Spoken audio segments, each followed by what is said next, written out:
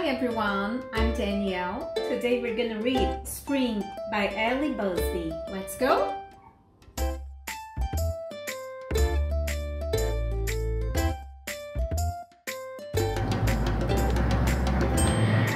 I know it's spring when I hear the birds singing when I wake up.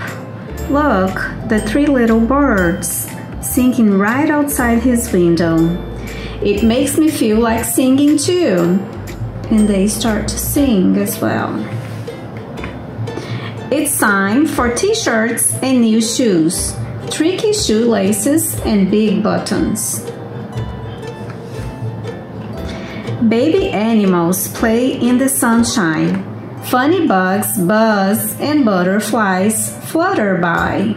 Do you see any butterfly? I see one, two, three, four butterflies. It's time to plant seeds and watch them grow.